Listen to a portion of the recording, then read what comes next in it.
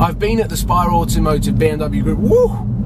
Woo! That's quite electrifying, pardon the pun. I definitely just tried to wink there and blinked.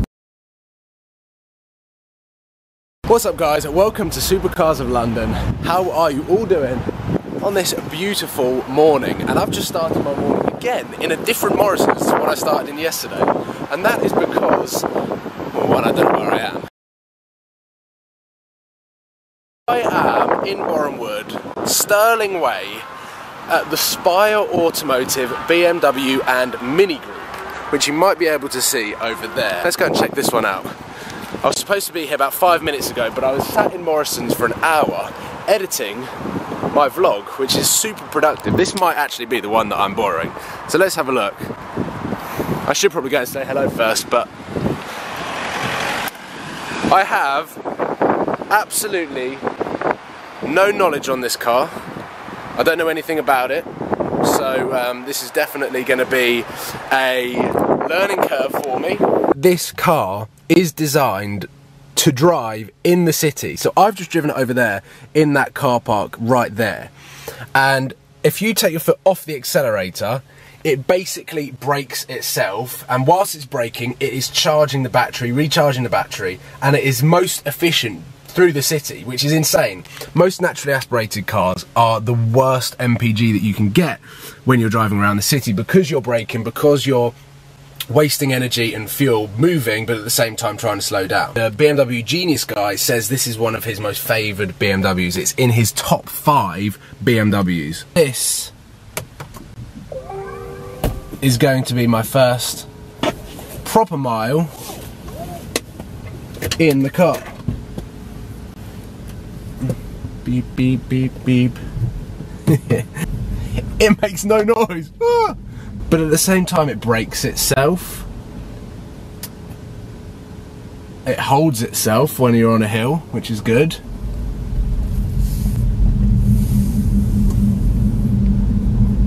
Ooh, I don't know how wide this car is. Breathe in. oh, this is quite bizarre, ladies and gentlemen.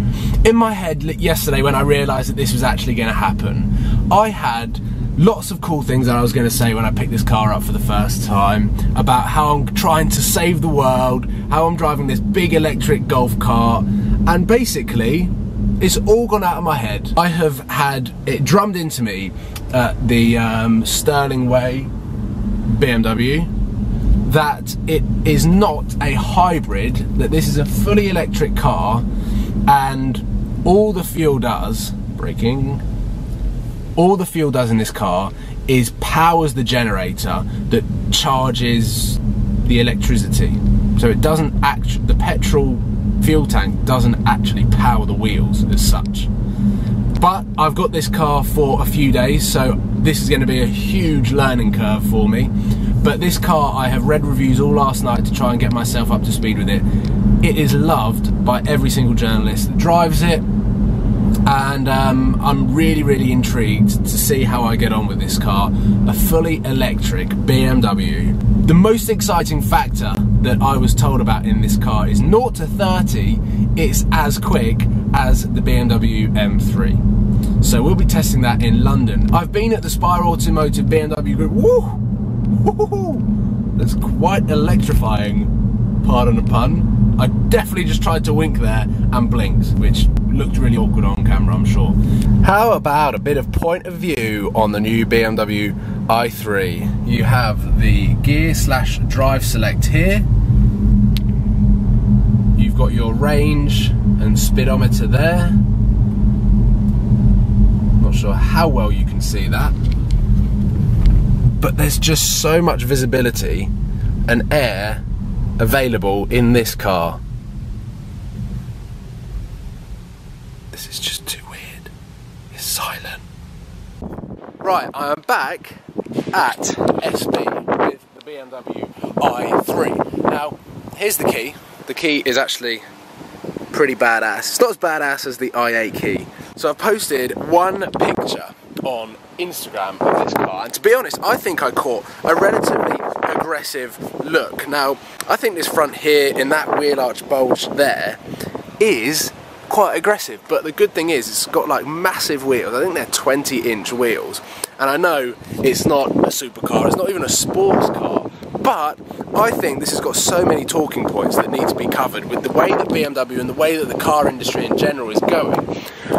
I just think this is quite a good opportunity to um, try out one of the first movers in electric technology. Right, so I'm skipping a few hours now and I'm on my way to London. Um, I'm already confused by this car because obviously the electrical charge will need to be charged at some point and I'm hoping that I can do that overnight tonight. This is something I've never ever had to think about before. Charging a car up so that I can use it. Some a concept I'm probably not quite there with in my brain, trying to work out when I need to charge the car. Do I drive to London with however many miles I've got left in the tank, which is telling me 107. So that's quite a lot of mileage. However, this car, the way that it charges and the way that it is designed to work is in the city. So it works best when you're doing start-stop traffic, which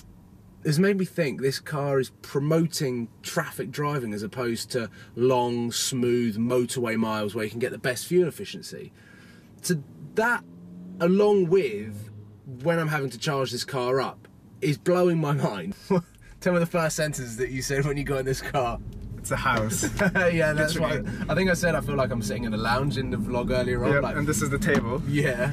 And You've got a bit of wood, you've got a bit of like plastic over there. Tell you what though, this house shifts. Oh, we've gone the wrong way. It actually sort of wants you to be in traffic because it helps the battery charge. If you're in traffic, yeah. If you're like cruising um, on the motorway, like trying to save fuel, how you how we were in the R8 and stuff, Mm. um, actually uses more battery and electricity just cruising. So it actually wants you to be in traffic, which really annoys me because I hate traffic. Look. it's quite punchy for a golf car. it is it is quick. for a golf buggy or whatever. Or for a house. Yeah, for a yeah for a house or a golf cart. It's, it's quick for either. Mm. So we need to find this new SV. Yeah, which I've heard. There's a new SV in town. And let's pray that it's actually that we can actually hear it. Yeah. Just completed dinner and typical South Kensington, not too far from Knightsbridge. We've got a Ferrari California and a mini Instagram photo shoot going on over, over there. and Demi's sneezing. But yeah, Tim is literally right there. I don't know if you can see him reversing back in his Vauxhall VXR. 55 grand that car, but apparently it's got 580 odd brake horsepower. Here you go, let's just get this Instagram photo shoot.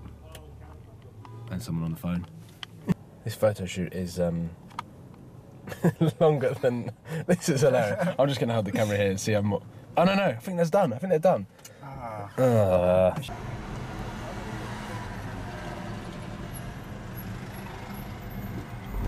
I need some pics of that, but it's probably too dark. That is nice.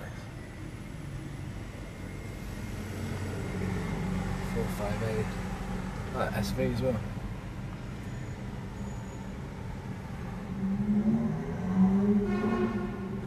Oh yes, that's the new one. Yep. We've got five eight behind. That's the new one. Yes, I'll park there. We are. Two SVs on Sloane.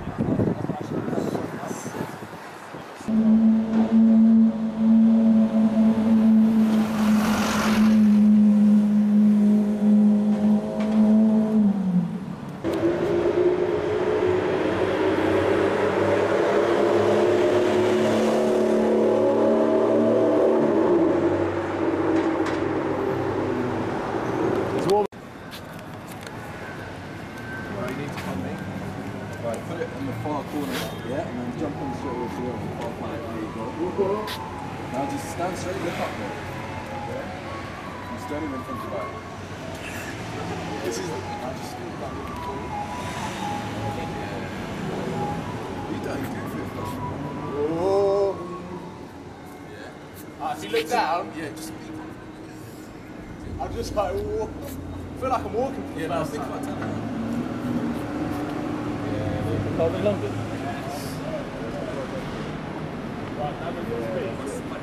I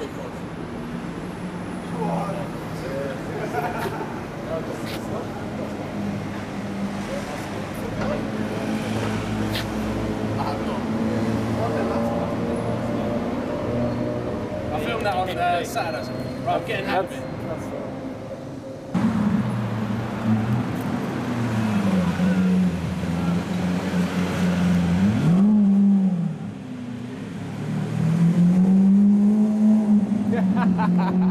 So I'm on Sloane Street now.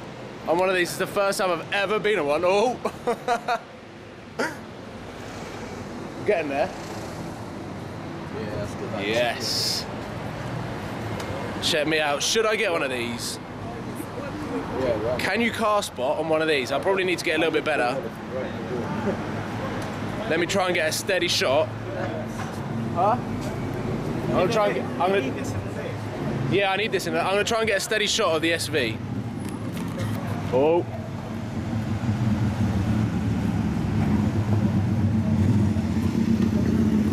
It's definitely got some cool features. It's definitely a little quirky, and it's a lot of fun to drive around town. And we will get to that. But it's completely pitch black now. So, ladies and gentlemen, the only thing that is lighting it up is the sort of ambiance lights that we've got going on here. So, thank you for watching. Oh, look at that! You can see a floating thumb. Software is going to shut down. This is a real problem because this has taken me ages. This has taken me 45 minutes so far